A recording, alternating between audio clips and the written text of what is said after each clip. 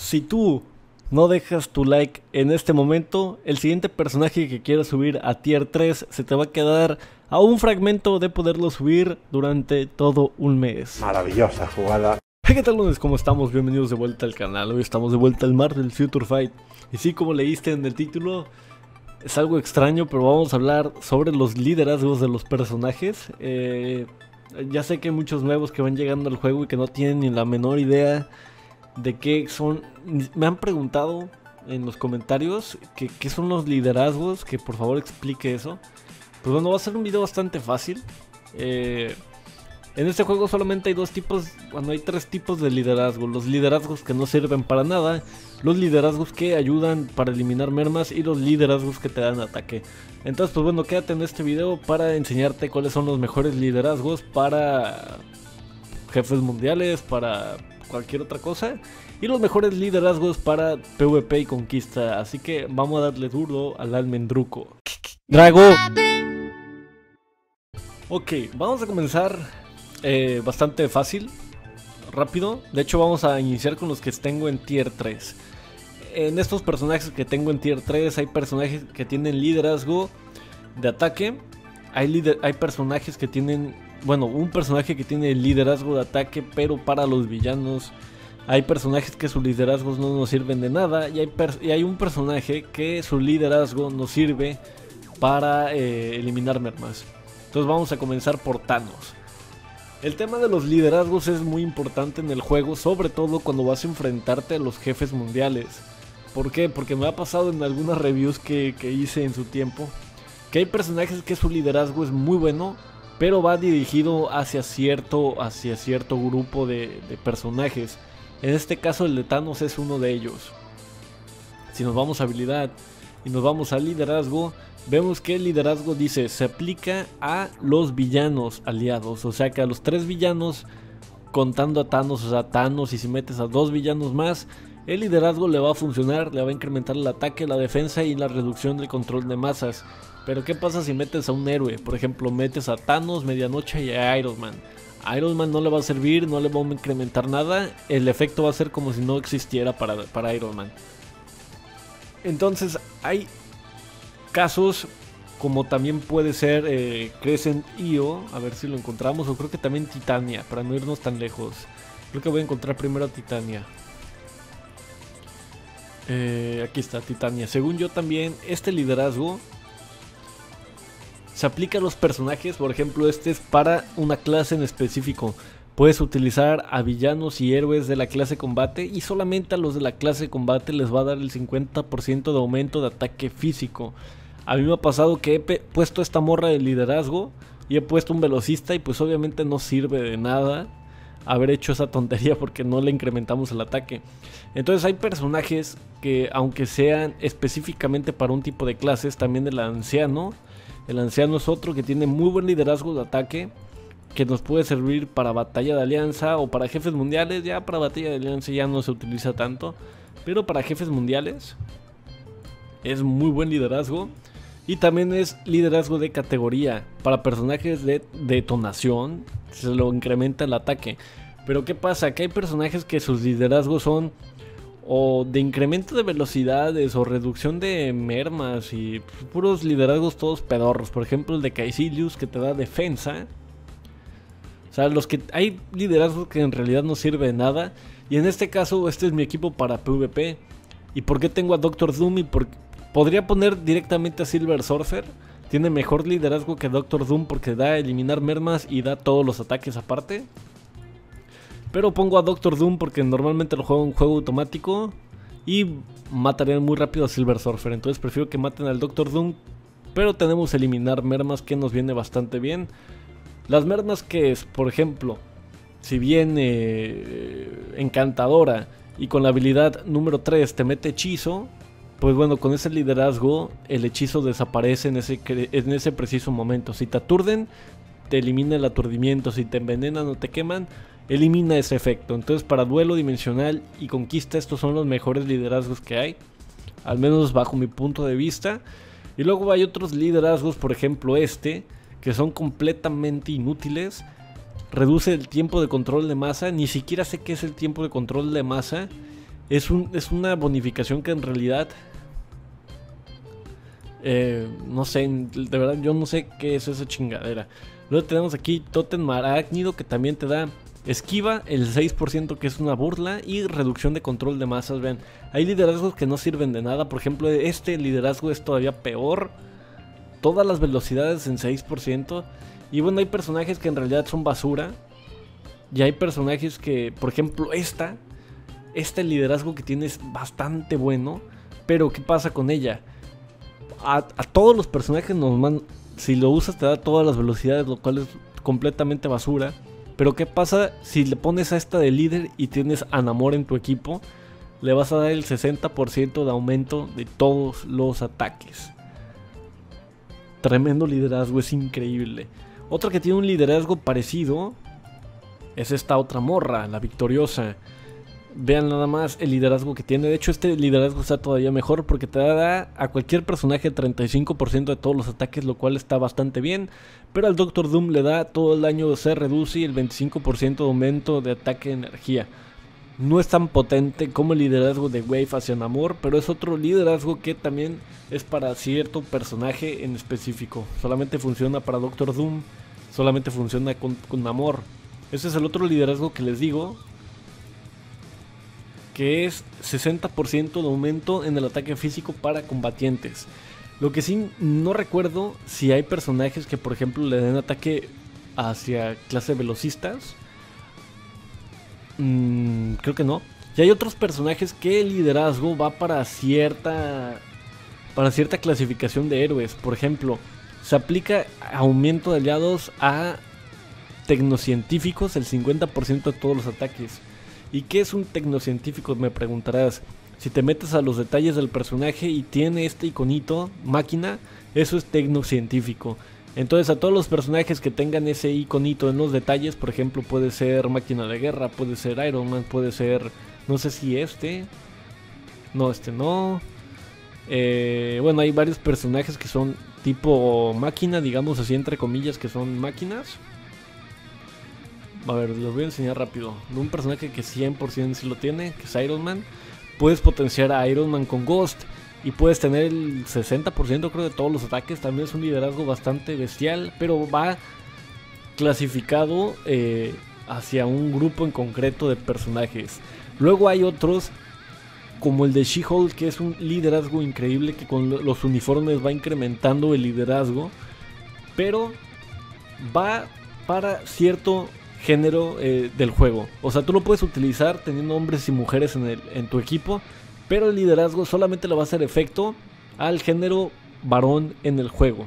Le da el, ciento, el, el 60% de aumento de daño contra el tipo varón.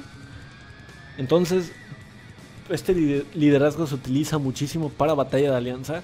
La bestia es varón y todos los minions son varones y se vuelve una completa locura este liderazgo. Es muy bueno.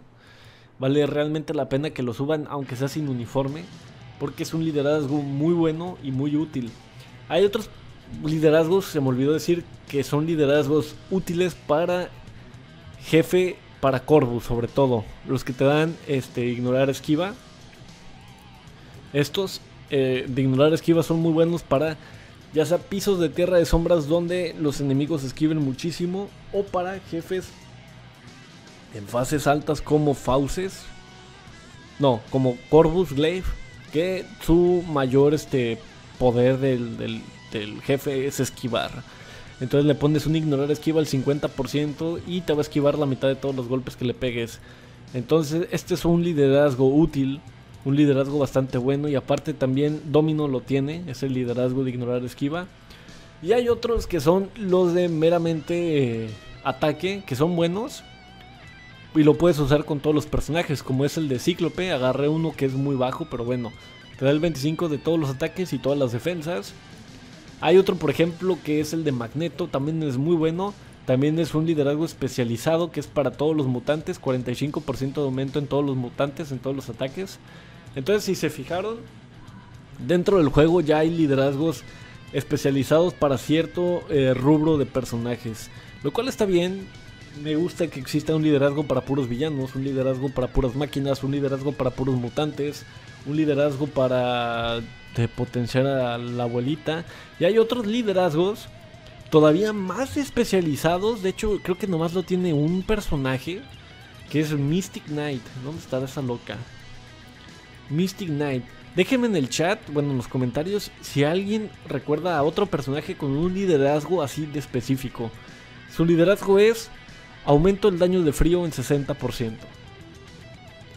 Mm, no sé si hay daño mental.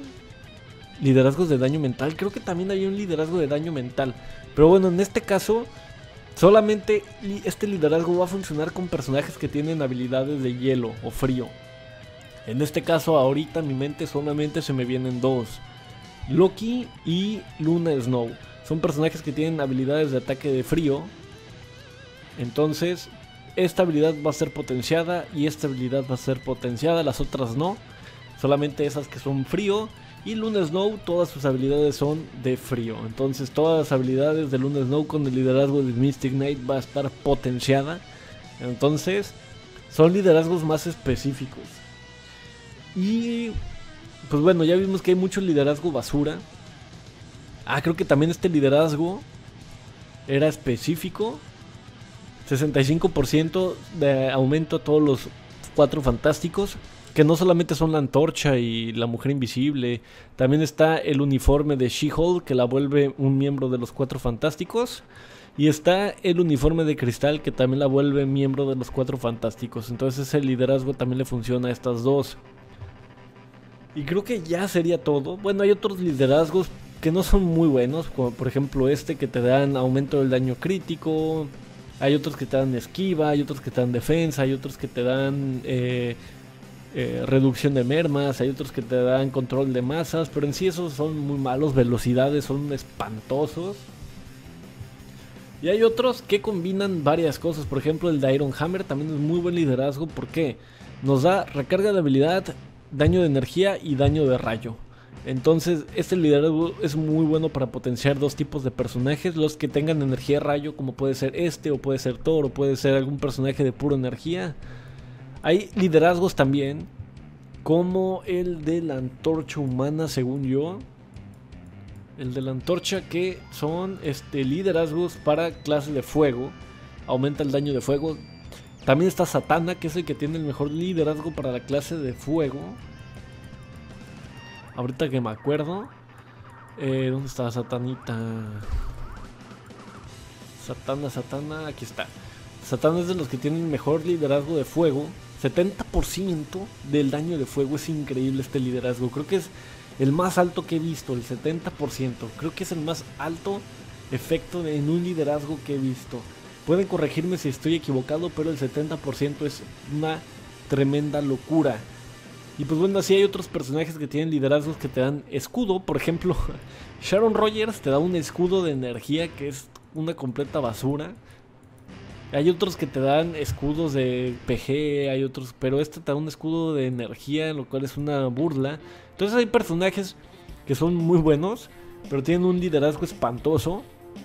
Psylocke es otro personaje que tiene un personaje, un liderazgo espantoso, que es aumenta resistencia mental. En vez de darle daño mental, le da resistencia a mente. Yo no sé por qué hacen esto. ¿Qué liderazgo tenía esta? Porque ya no me acuerdo. Aumenta resistencia mental también. Otro liderazgo que bien podría servir, digamos, de counter, pero pues para eso te pones un eliminar mermas. Y pues bueno, hay otros, por ejemplo el de Thor, que también es una basura que te da resistencia al rayo, lo cual está espantoso.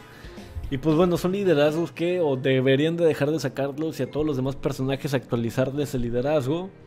O este, yo qué sé, quitárselos y ponerles aumento de daño de rayo, aumento de daño de fuego, aumento de daño mental o algo que en realidad sea útil. Por ejemplo, otro liderazgo muy malo es este, el de Spider-Man te da esquiva, el 6% no sirve de nada. Y pues así, en la lista tan inmensa de personajes que tenemos en este juego, hay muchos liderazgos que son muy malos. Hay otros liderazgos que son muy buenos como los que ya vimos. Y este, en específico el de Deadpool, quiero hacer eh, un hincapié aquí porque es muy buen liderazgo, pero es un liderazgo muy envidioso. A todos los aliados, probabilidad de recuperación en 6%. Y solamente a él le da 35% de ataque, 35% de defensa y velocidades. Entonces es un liderazgo muy bueno para Deadpool solamente. Entonces, pues sí, es un liderazgo completamente envidioso, pero es un liderazgo muy bueno. Y pues bueno, yo creo que ya hablamos de los liderazgos en sí. Ya, yo creo que ya con este video saben, eh, primero, en dónde ver el liderazgo y segundo saber qué efectos son los liderazgos. Digo, tampoco es, algo tan complicado.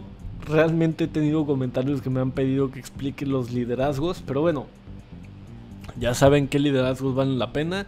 Hay personajes que son totalmente farmeables que tienen liderazgos muy buenos.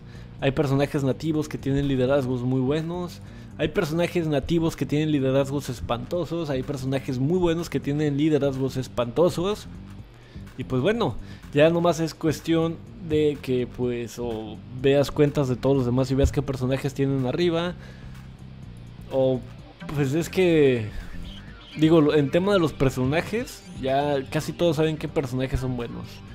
No es que todavía alguien siga creyendo que Dios Lash es bueno, que el pelón de Brazers es bueno, que Punisher con este uniforme es bueno. Entonces, pues más que nada yo creo que ya estaría todo listo eh, por el video. Si quieren seguir revisando liderazgos, pues solamente se meten aquí. 45% de ataque físico, este es algo parecido, 45% de ataque físico. Y hay otros que te dan, por ejemplo, este te da todos los ataques. Y pues ya hay liderazgos muy buenos, hay liderazgos muy bajos como este, de 24 de todos los ataques, hay liderazgos más altos. Pero bueno, al fin y al cabo son liderazgos que sirven. Este liderazgo también está muy bien para los eh, personajes de fuego y aparte te da resistencia a quemaduras. Entonces pues ya es solamente cuestión de que lean los liderazgos.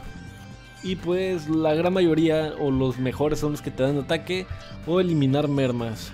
Que normalmente los tienen los nativos. Y pues nada, aquí voy dejando este video, espero que les haya servido más que nada. Si tienen alguna duda con respecto a los liderazgos, que sería muy extraño, pues déjenlo en los comentarios. Y hay personajes como She-Hulk o como Star-Lord que esos uniformes les van incrementando el aumento al liderazgo. También es eso a tener en cuenta. Hay personajes que sus, eh, sus uniformes les incrementan el liderazgo, también a Cíclope, también a... Bueno, no me acuerdo quién más, pero de seguro hay más personajes a quienes el liderazgo incrementa el uniforme. Y pues nada, aquí voy dejando este video, espero que les haya servido. Muchas gracias a todos por verlo. Y ya saben lo que vieron en el principio del video, si no dejan su like y se suscriben, eso ya me lo inventé yo ahorita. Su personaje en tier 3 se va a quedar a un fragmento por un mes. Ahora sí, me despido, muchas gracias a todos y nos vemos hasta la próxima. Adiosillo, cara de pillos. Fin de la transmisión.